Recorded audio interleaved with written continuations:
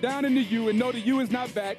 Payton Thorne throws it to Tre Mosley. Looks like he's going to be tackled, but Gurvan Hall Jr. decides to go for the blocker What? instead of making the tackle. Are you kidding me? As a defender, we've got to get our name in the paper. We have to make tackles. This is one reason why the U is not back because instead of the U wanting to make tackles, they want to go get blocks. Hey, come, Oh, Gurvan. Hall Jr. Come on, man. Dude, that's the. Oh, come on, Come man. on. Are you kidding me? Go make the tackle.